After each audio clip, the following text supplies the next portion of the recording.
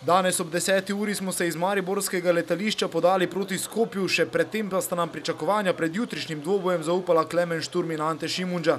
Načeloma vemo, da je ekipa Škendije zelo čvrsta, eh, spoh doma dobro igrajo. Eh, vemo tudi, da v domačem prvenstvu eh, so kar z veliko razliko zmagali, tako da vemo, da nas čaka težka tekma. Bolj podrobno bomo pa zdaj še v teh dneh do jutri pogledali, tako da se bomo dobro pripravili na njih.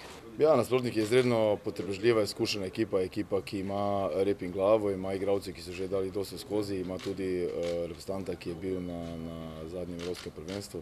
Tako da so ekipa, ki ve, zakaj gre, ekipa, ki ima uh, kvaliteto, uh, ima pa tudi svoje pomenkljivosti. Z opravljenim v pripravah je trener zadovoljen. Vidi se, da, da, smo, da smo malo napeti, enostavno ni tiste sproščenosti, uh, smo vseeno prvič v, v največjem klubskem tekmovanju, ampak to je ena pozitivna stvar. Če bi bili sproščeni, ne bi bilo uh, uh, mentalno stanje na najvišjem možnem nivoju, tako fanti se zavedajo, kako in kaj.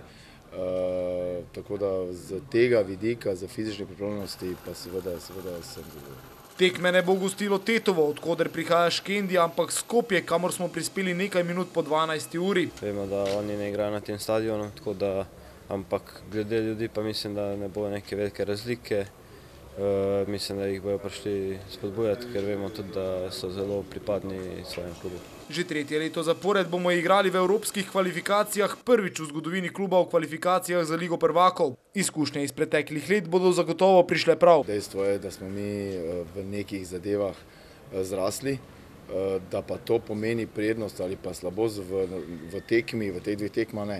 Enostavno morali bomo biti zelo, zelo tekmovalni in črpati iz, iz izkušenj, ki smo, jih, ki smo jih imeli v sami Evropi in poskušati biti čim boljši. Lani smo imeli izkušnje pa predlani iz Evropske lige, tako da to je spet neka nova izkušnja, ki je nima velikih igralcev v naši ekipi, tako da mi se bomo čim bolj probali prilagoditi temu in pokazati se, kaj znamo. Letos je UEFA spremenila pravilo zadetka v gosteh, ki odslej ne bo predstavljal predno za gostujočo ekipo. Bo zaradi tega priprava kaj drugačna?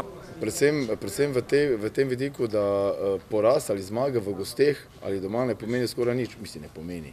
Lažje je, pomeni, ni potrebno dati dve gola ali tri gola glede, glede na pred ali dan zadetek, uh, tako da uh, moramo, moramo biti v obeh tekmah v skupnem izidu boljši od nasprotnika, ne glede na to, kje si ustvariš prednost, to je ena velika, velika razlika. Danes ob 19. uri bomo na stadionu Toše Projeski opravili tudi uradni trening pred jutrišnjo tekmo.